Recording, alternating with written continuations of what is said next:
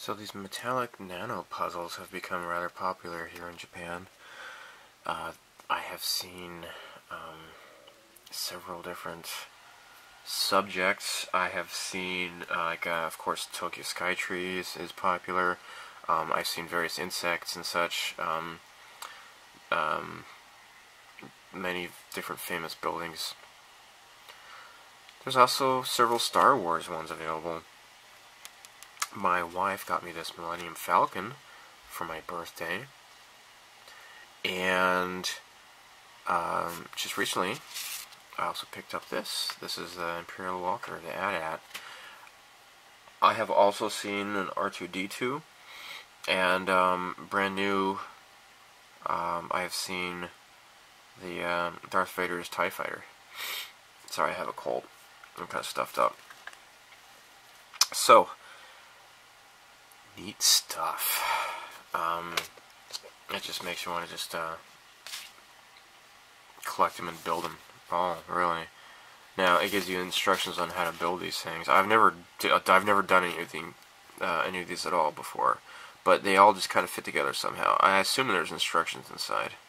Otherwise, I'd be quite lost. But you got these tabs here and slots. So basically, you just you know grab some tweezers and then uh, you know twist them and uh, bend them to make sure that they, uh, they they fit together properly. Now, I was planning on putting together the Millennium Falcon.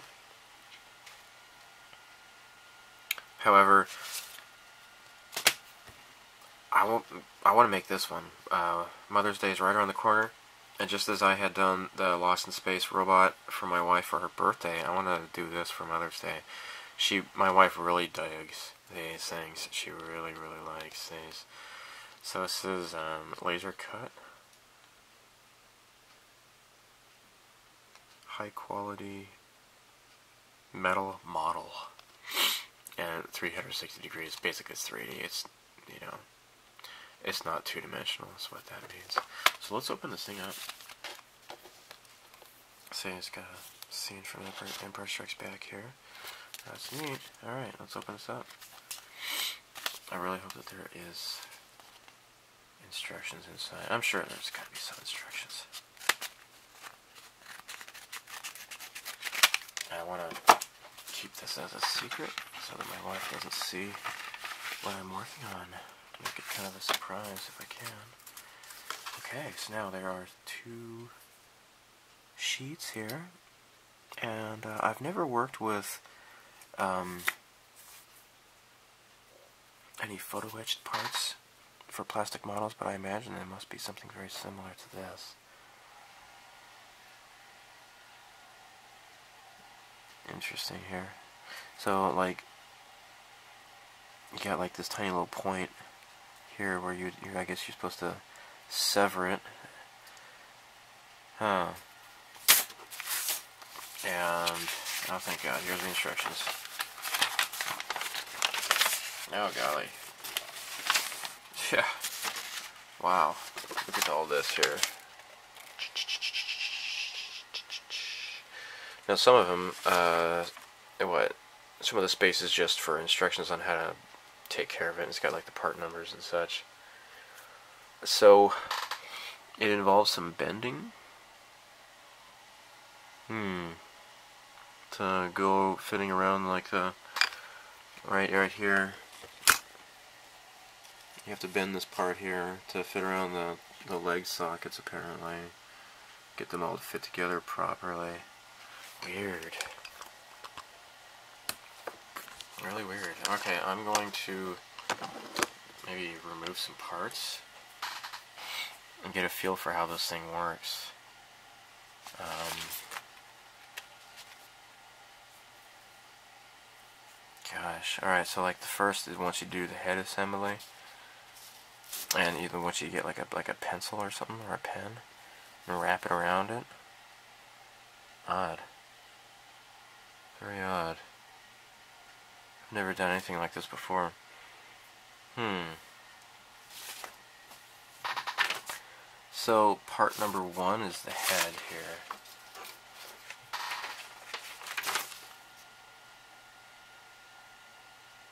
Now this is the body, so this is not it. Here's the head right here. So I need to make a couple of uh, cuts. Oh, okay, here's... Alright. Here, here's where I do it. Hmm. Okay. I'm kind of nervous, actually. let me get my, uh... Let me get my, my cutter here. My X-Acto knife. Jeez.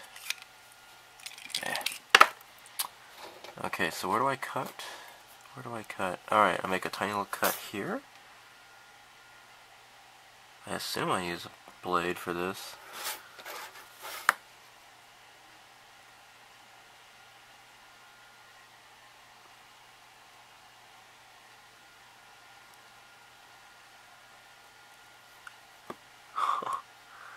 Did I cut it okay? I've never done this before. Oh, alright. So it's just held together in like uh, three three parts here. Three little points.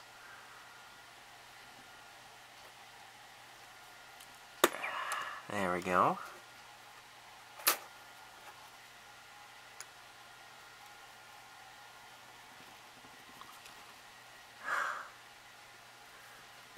Hmm. Okay. Here's the head. Mm, okay, well that was clean. I guess. Uh, maybe I should file it? What do you think? Should, do you file stuff like this? I don't know. Huh. Now I guess I should maybe take the time to try to translate these Japanese instructions. But, um...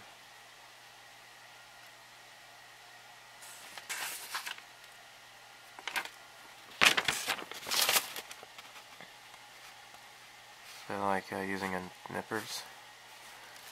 Maybe I should just use my nippers to cut these things. Hmm, instead of using the X-Acto knife. Guess I can use these. Although I might want to use the crappy ones though. I don't know if I want to use these on metal. I might dull it. I'd rather use that for plastic. So, hmm. Okay, so these parts should kind of bend easily. Yep. Sure enough.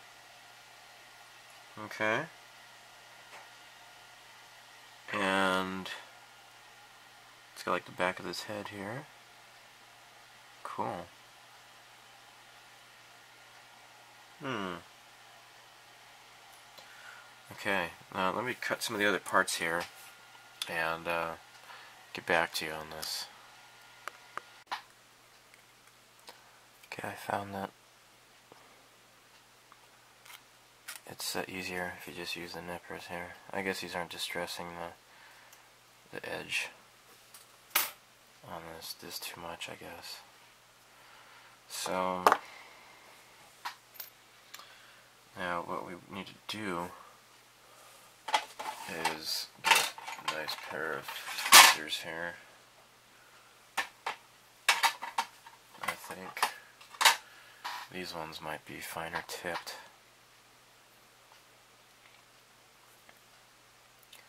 And in here, this is like the front of the face of the of the walker.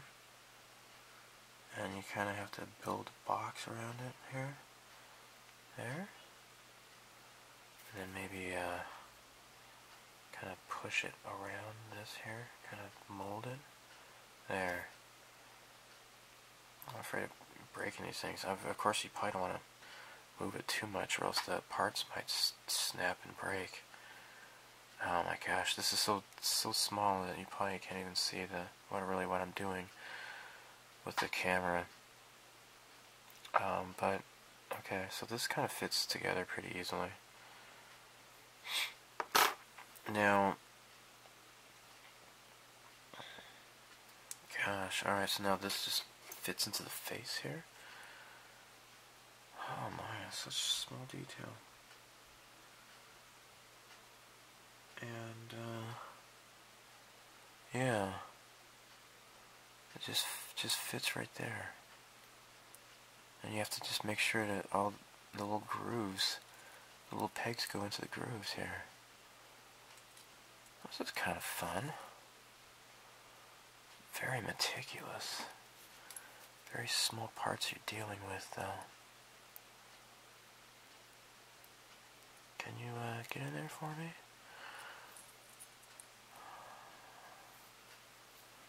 Wait. Is this upside down? No? Okay. Ah, shoot, see, I missed it totally. Get in there, you little dork. Quit pushing me off. Maybe I should just kind of pinch it a bit with my fingers there. Wow.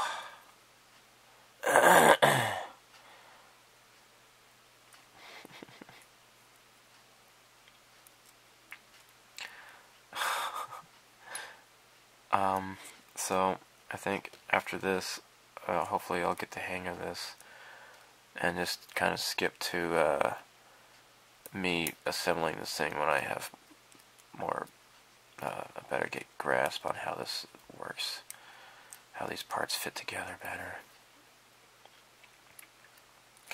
But um, I just want to show you how difficult this might be on the first try, which uh, this is certainly rather uh, rather taxing, I would say.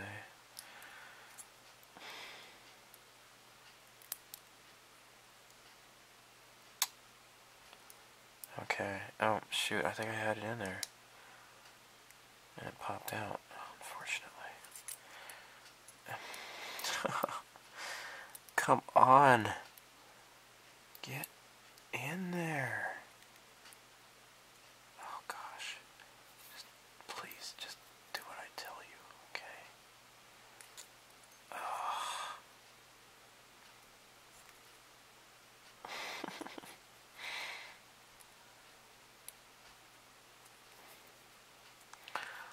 Okay, I need to try to bend this uncooperative part into position.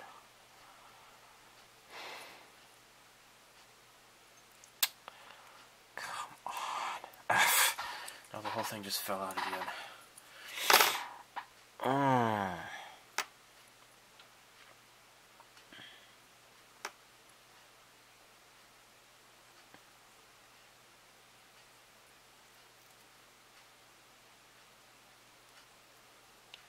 Okay.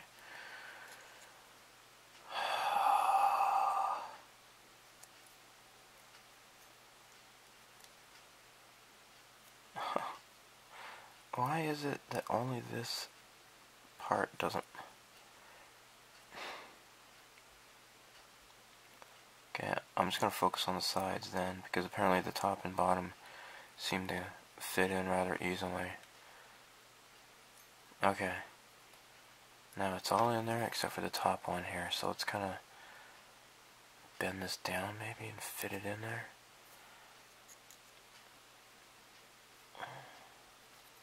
Jeez, I'll be lucky if I get this done in three, four days before Mother's Day. Now this is not happening.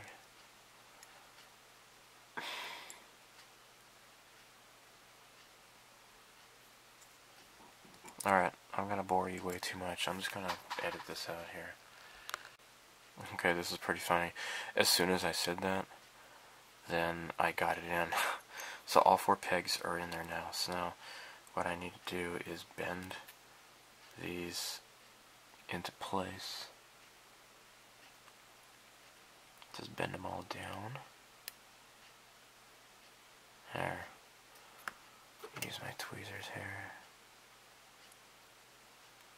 Come on. I think my fingernail works better than the tweezers. Okay. So that's done. Whew. Okay. And here's the other part here. This is part number four. And let's bend, bend, bend. There. Now this is supposed to bend downwards, I imagine. There. Okay. Alright. So now this goes on to like the forehead area. This one only has two slots. So I hope this might be a bit easier.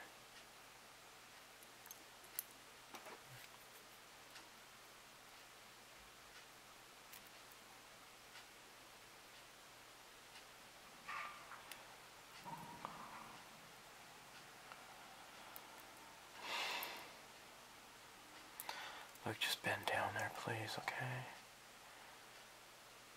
Ah. I think I got it. There. It's down there. Alright.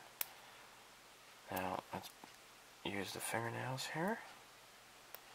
Lock it into position. Alright. So now that you can see the head is definitely taking place, uh, taking shape here. Okay. Now we need to get the, the side cannons into place. Um, it says like this part here needs to be fit around. Maybe like um, I can use this X-Acto knife maybe. And you, you need to bend it. So let's just wrap it around the X-Acto knife here.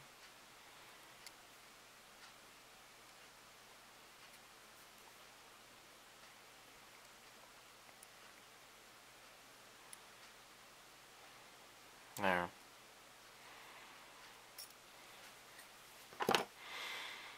Gives it a nice curve. And then we stick this in, in this way. There. And it's not really good. Not not really circular though.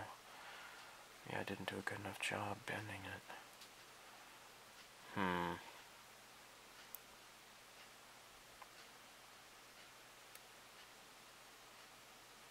Hmm. Okay. Okay, so now we got three grooves. And that's where this fits into. Ah, oh, that was easy. Okay, good thing I have long fingernails. Or not longer. I usually kind of bite my nails. That's that's bad, and I've noticed my daughter starting to to copy me with doing that. I don't want her to start that. She just turned six. I don't want her to get into the bad habit of biting her fingernails. Okay. So, alright, so this is into place here. And there.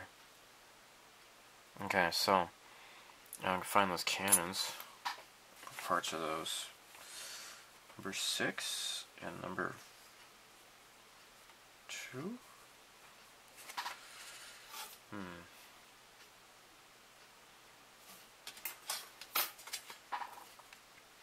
Oh. Here they are. Unmistakably. So what I did was just kind of position the, the nippers from behind and then just make a quick cut. See? And then it just kind of pops out. Oops, I didn't cut this one well enough. I don't want it to bend. There, okay. So, there we go. Um, There we go. Ah. Nice, nice, nice. Oh yeah, so I went to go see the um, uh, no Takkyubin, the the live action Kiki's Delivery Service. It's um, the first week of May right now, but it was in um, in March when I, I took my daughter to go see that movie in the movie theater because she was really really anxious to go to the movie. She really really wanted to go to see another movie in a movie theater. So I took her to go see that, and it's pretty cool. I mean, of course, people who are fans of the Miyazaki movie, they're you know, they kind of have their their preconce preconceptions, but it's not a Miyazaki story. He took the story as a as a children's story. Um, you know, the Witch's Delivery Service. It was a a young adult or a, a children's novel in Japan, and Miyazaki kind of did his own twist to the story. He kind of um, made made a lot of uh, his own little interpretations and changes to the story. So the Miyazaki movie is its own story. This movie is supposedly closer to the to the novel, so it is quite a bit different. So that, was a pretty cute movie. Um, also, fairly recently was the uh, uh, Captain America movie came out in Japan, and unfortunately I haven't gone to see that yet. I really would like to go see that though. Okay, so this is coming along here. You can see the the cannons here. Cool, cool, cool. Okay, so I'm gonna turn off the camera here and just get busy with a lot of uh, work and come back and show you the progress I've made. Stay tuned. I'm still trying to figure out the focus on this thing here. Um, it's a new camera. I'm not used to it yet, but anyhow, um, I have completed the head. So, pretty cool. It's, it's not not so difficult. I just you have to get used to it. And um, these tweezers I usually for like making proto bead sprite art, but I'm not gonna use that. I'm gonna use these decals tweezers. These these uh, these seem to grab the smaller details a lot better. Okay, so I got the first leg constructed. Got a little bit bent though. That's unfortunate. Um, I'm not really sure how I can straighten it out properly, but that was uh, kind of frustrating because of one of the pegs didn't want to fit in right, and when I pushed in there, it kind of bent the, the legs here. Kind of started a chain reaction. Gotta be careful with this. So, um, I'll have to see after everything's put together how it uh, how it looks but hopefully it's not it's not gonna look too terrible so there we go